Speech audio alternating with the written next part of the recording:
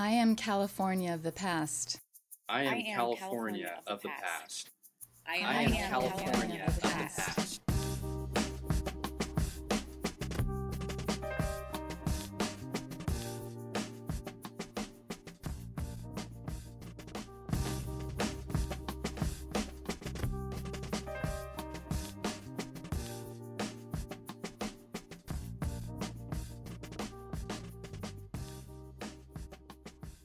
My name's Ken Goulardt.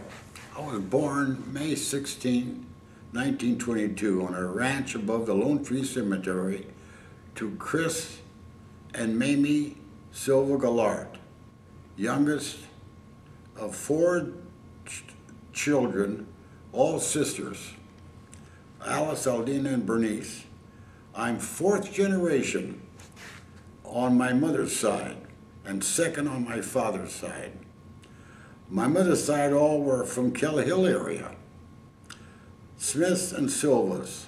On my father's side, they were were a seagoing family, traveling around the world, and uh, goes back to the French, Dutch, and Germans, and even the Vikings. On my my mother, Mamie Goulardt, oldest of five, born on a ranch above the Lone Tree Cemetery of the Silva family. My father, Chris, from a larger family of eight on a very large ranch that went clear over from Fairview to the Palomares Canyon, some 160 acres all told. My father came from the Azores, my mother's father, my mother's father, came from the Azores to America across country to work on a ranch uh, up on Kelly Hill, which was from Doncaster's Park clear to the um, uh, Hayward Island area above the Lone Tree Cemetery. As for my father, sailing to the San Francisco, uh, contacted a German couple. They had a hotel right down on D Street and uh, Mission Boulevard. And the old hotel, it's tore down now. And they told him about the properties that were being sold. And he found this ranch, in 160 acres, bought it for a dollar an acre. Can you imagine that? I myself, uh, as I grew up, I went to a school called Fairview School, which was on Maud Avenue. It had sixth grades, one teacher, plus a minus of about 20, 25 kids. And at times, uh, that would be down to 20 because if there was work on the farms that needed being taken care of, the kids stayed home. That was it. And there was no big deal about the kids not being in school. Um, I know I know about four, I'm sure of, that used to have to just stay home and work. That was it. I never had to. My father always insisted that I, I always go to school. The first teacher we had, she, oh, she was mean. Well, mean teacher. I remember seeing her in a couple of first grades. And then we, we got Mrs. Uh, uh, Elizabeth, Miss Elizabeth. I can I forget her first name.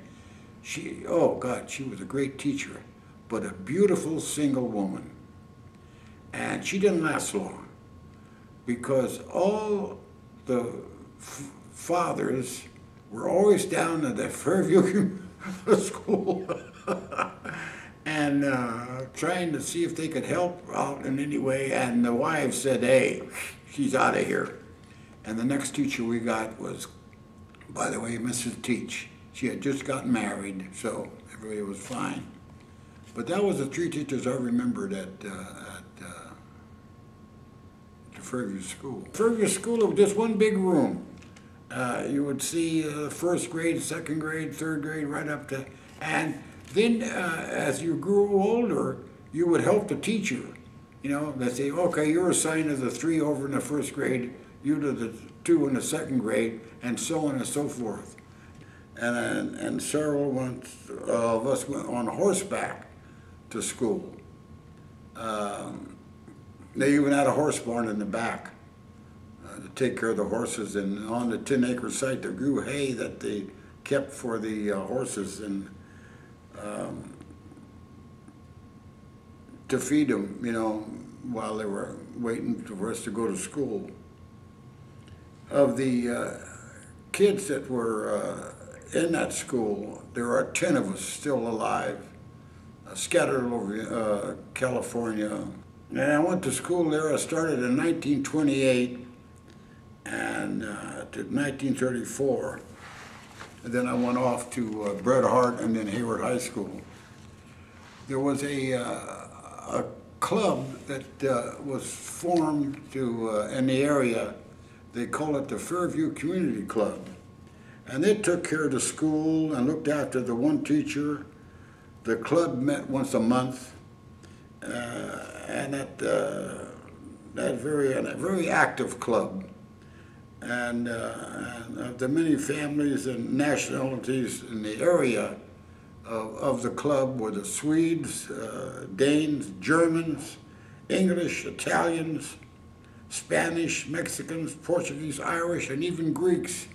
So it was a mixture of a lot of people.